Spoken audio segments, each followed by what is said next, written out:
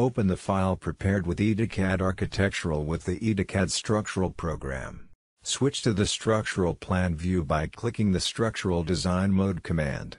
The architectural details will be closed and the formwork plan will be opened. Click the Make Compatible with Structural command from the Tools menu. Layers are automatically arranged according to ideCAD Structural. Column and beam dimensions are opened in the Plan view. Examine beam and column dimensions.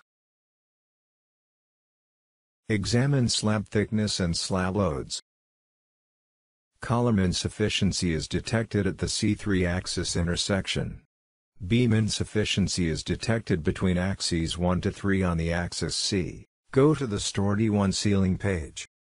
Examine beam and column dimensions. Column insufficiency is detected at the C3 axis intersection. Beam insufficiency is detected between axes 1 to 3 on the axis B.